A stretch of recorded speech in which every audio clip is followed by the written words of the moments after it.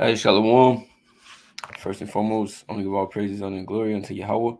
Ba'ashem Yahushua, Ba'ashem HaKadosh, double honors to the apostles and the elders of Great Millstone. Peace and salutations to the Hakiam, to the elect that are scattered across the four corners of this earth, pushing this truth and faith and in sincerity. I'm the brother Shamala from the Geometry Camp, and this lesson is going to be entitled The Left Handed Priesthood. All right. And it's basically going into Esau Edom, the so called white man and how they practice their witchcraft. Right? They they make sacrifices on the left hand side, you know, against us, you know, and against the whole world actually. But you know, we are their main focus, the Israelites, being the Negroes, Latinos, and Native Americans, the true Israelites of the Bible, right? According to the 12 tribes. Esau is our biggest enemy and by any means, he's going to use that left hand side because he is the devil.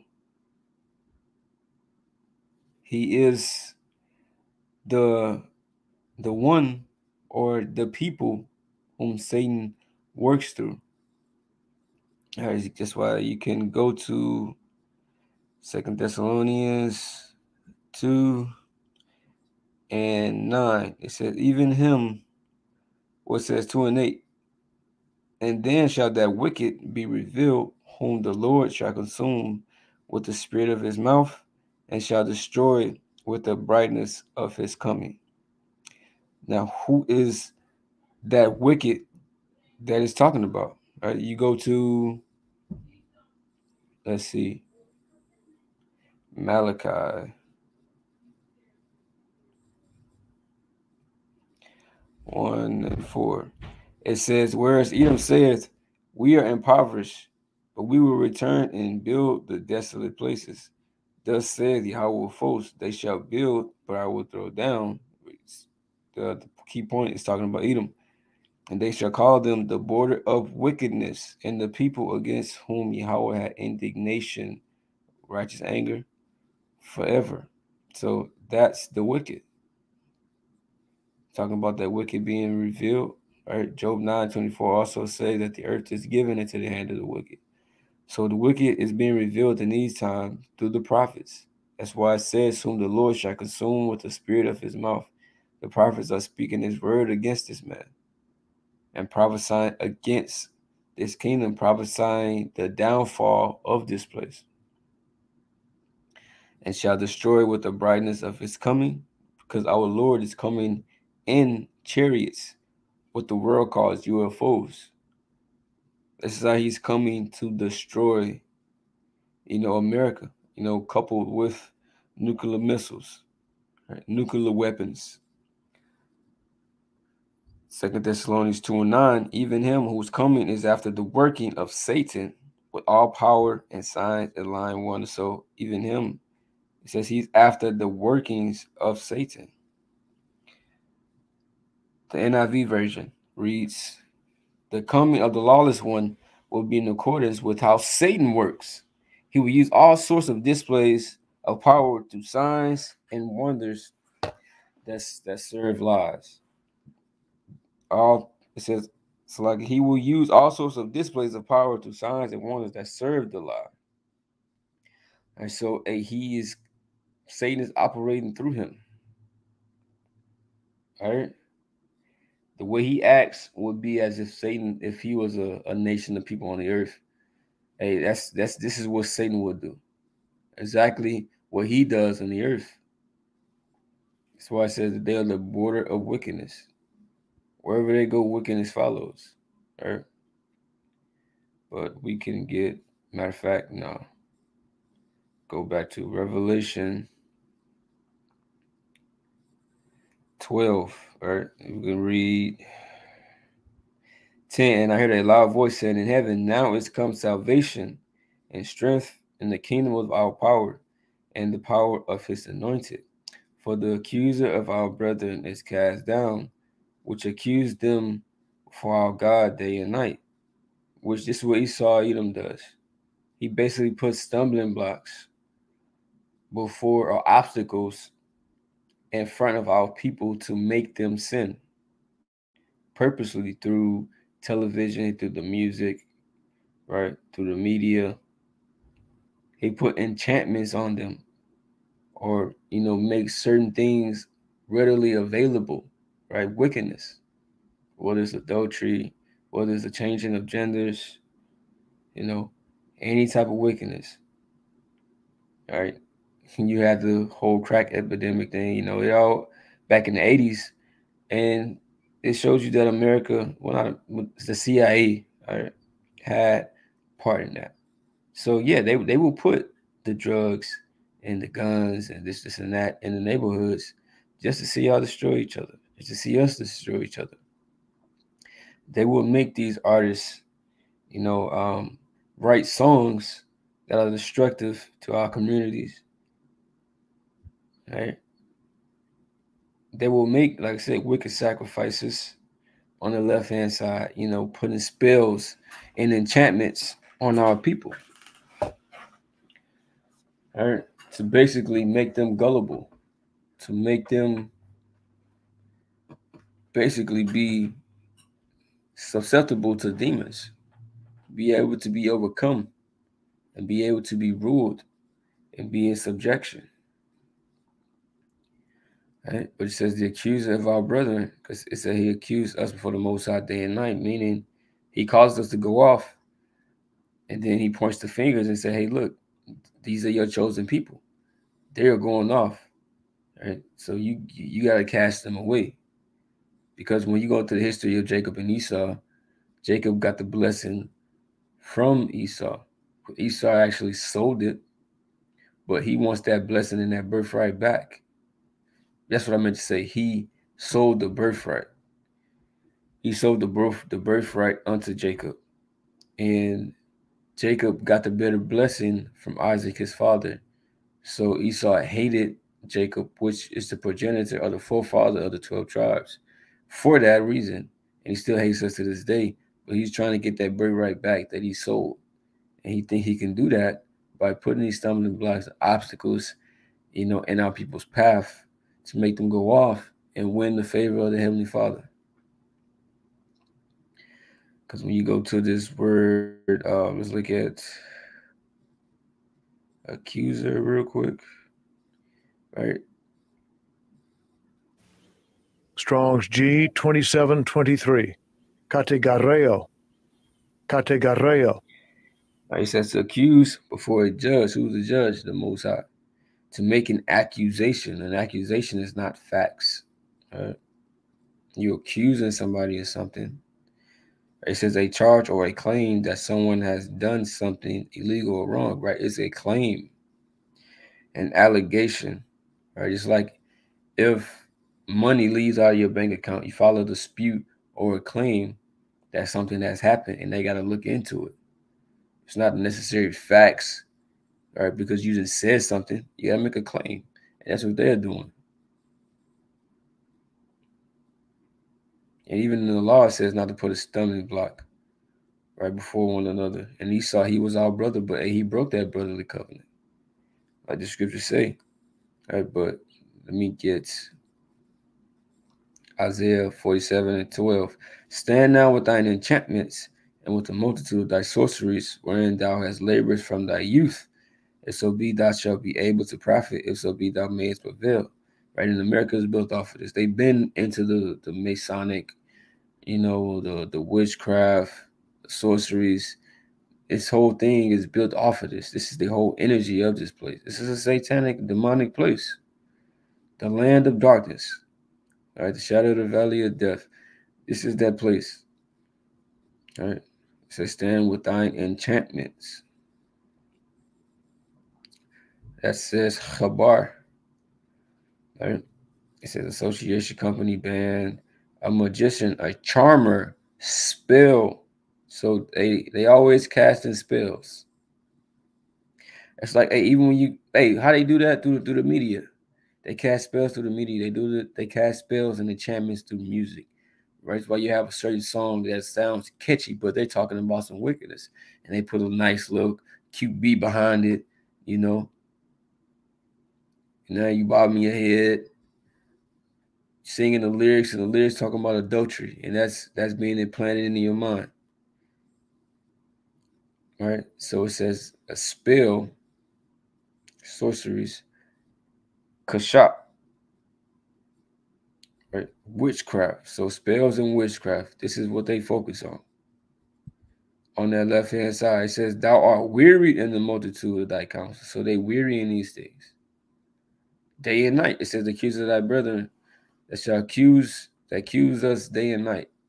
They are weary in these things. They're weary in, in, in, a lot of left hand energy. All right, because that's how he gets blessed, so to speak, through the left hand side, through Satan. But Satan works for the Heavenly Father. The Heavenly Father is only allowing this man to do certain things to fulfill prophecy. He's not truly, truly blessed. Well, he's blessed as far as his kingdom, but as far as having the most high you know, on his side forever and, having, you know, the most of having good intentions for him, you know, giving him his birthright in the kingdom. None of that's going to happen. He's only using this man for a certain particular purpose. It says, Surely, Numbers 23 and 23, surely there is no enchantment against Jacob, neither is there any divination against Israel. According to this time, it shall be said of Jacob and of Israel, what hath the Most High wrought, right? Because during this time you had what Balak trying to get Balaam to curse Israel. And he basically said, you know, you can't curse whom the Most High has blessed. This word for enchantment is Nakash. It says divination and enchantment. Basically, still like going into spells, all right, and a charmer, all right, this is Quasam, divination, witchcraft of false prophets of the nations. Balaam, what? Because Balaam, what is that? That that basically is another name for Satan. And this man tried to put his witchcraft out there to get all people to fall down unto him, to worship him. Like I said, to be susceptible unto him. But hey, when you go to Romans 11, and 4. But what said the answer of the Most High to him? I have reserved to myself 7,000 men who have not bowed the knee to the image of Baal. So you're going to have those that's only going to worship Yahweh Bashem Yahweh Shai. It's going to be protected. It's going to be the true sheep of Yahweh Shai. Those are the ones that that enchantment, those enchantments not going to work on. Because they got the covering, they cover with the covering of the Heavenly Father. Only the two thirds will fall susceptible to that. right? Because when you go to Revelation 13 and 8, talking about the beast, this beast system, NATO and the EU, right? The power structure of Esau Edom, right? This is who, who's ruling during these times. It's who this chapter is going into. Right? It mentions the dragon, which is ancient Rome. All right. Let me see. Right, the dragon. Mr. the dragon up there, which is ancient Rome, and that beast that came back, who deadly one was healed. It's America coming back into power. Right, America and his allies. All right, but it says Revelation 13 and 8, and all that dwell upon the earth shall worship him, whose names are not written in the whose names are not written in the book of life of the Lamb slain from the foundation of the world, who's that Lamb is Yahweh So the ones whose name are not written in the book of life are those that are not part of the elect. They're not a part of that 7,000, which means it's a complete um, number, basically the elect, right? The number that's not going to fall down and worship this man. These are those that are outside of that. They're going to fall onto this witchcraft. They're going to be, you know, um, taken over by these demons. Right? That's why you got to stay, you know, prayed up, right? And have on this armor, the covering of Yahweh Bashim Yahushua. Ephesians 6 and 10. Finally, my brethren, be strong in the Lord and in the power of his might. Right? Being strong in his truth, in his faith. Put on the whole armor of the Most High that you may be able to stand against the wiles of the devil, right? The trickery, against all of the things that are that he sets up. When you think of the devil, people think about Satan, but it's talking about the so-called white man, because that's who Satan works through. Like I the precepts I quoted earlier, or that I grabbed in Second Thessalonians, right? This word is diablos, right? It says prone to slander, slanders, accusing falsely, false accuser. Revelation 12 speaks about the, the, the accuser of our brethren. That's the devil, the slanderer. That's what we're talking about. Right. That's who Satan works through. Even though you have certain, you have spirits, you have demons as well. And this protects against all of that. Ephesians 6 and 12, for we wrestle not against flesh and blood, but against principalities, against powers, against the rulers of the darkness of this world, against spiritual wickedness in high places, right? Because like I got um grabbed in Isaiah 47. Right, this hey, this man is constantly into that witchcraft, casting spells. Right, and you go into principalities, goes into chief demons. So demons rule this place. This is a, a wicked place. This is a wicked world. So that's why you got to stay prayed up and have on this covering of Yahweh Bashem Shah. Be covered with his spirit, to be covered with his protection. Because a it's not a flesh and blood battle. All these things are spiritual. So you got to be strong spiritually. All right. You got to be armored up, protected spiritually says, Wherefore take unto you the whole armor of the Most High, that you may be able to withstand in the evil day, having done all to stand. Stand therefore, having your loins girded about with truth, and having on the breastplate of righteousness, and your feet shod with the preparation of the gospel of peace. Above all, taking the shield of faith, wherewith you shall be able to quench all the fiery darts of the wicked, and take the, the, the helmet of salvation and the sword of the Spirit which is the word of the Most High, right? This is how we're going to overcome. It says they, overcome, they overcame him by their testimony, by the blood of the Lamb, right? Through this word, which is this armor. You know, this is how we're going to combat against those spells being casted. How we're going to combat against demons. Combat in, this, in a spiritual sense. Right? This is this is this is the tools that we were given by the Heavenly Father right, to combat, right, and to to go to war with, right? Because Esau is making sacrifices constantly, day and night. So we got to constantly be in our sacrifices as well. That's why when you go to Hosea 4 and 2, take what you words and turn to Yahweh. Said to him, Take away all iniquity and receive us graciously, so we will render the calves of our lips. The calves goes into the sacrifices. All right but we are sacrificing with our lips. All, you know, available and possible through Yahweh. And what is Isaiah 62? And let's see.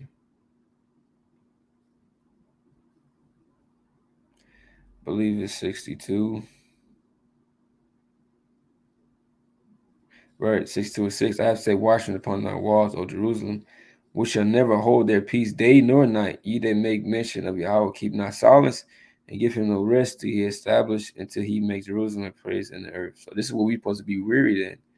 Doing these lessons, rehearsing these righteous acts, being in the spirit, right? We're supposed to be wearied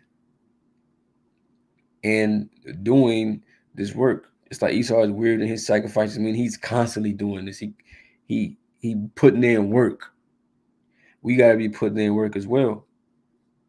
You know, on the right hand side to combat with that left hand side. All right. And let me look up that word real quick. When it says thou art wearied.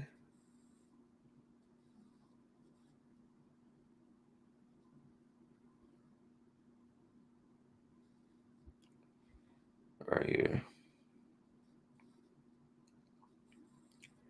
It says la to be impatient, to be offended, to be tired of something, weary oneself, to weary, make weary, exhausted.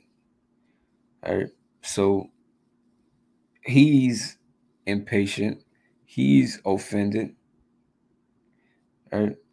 He and he's tired because hey, he's he he basically got his mind set on this because he knows his end is coming. You see? So, so like I used the wrong word for this, right? But just like he's putting in work, this I should just say that. Just like he's putting in work, we should be putting in work as well. You know. So, hey, with that, I pray this was edifying lesson. that I'm gonna say shalom.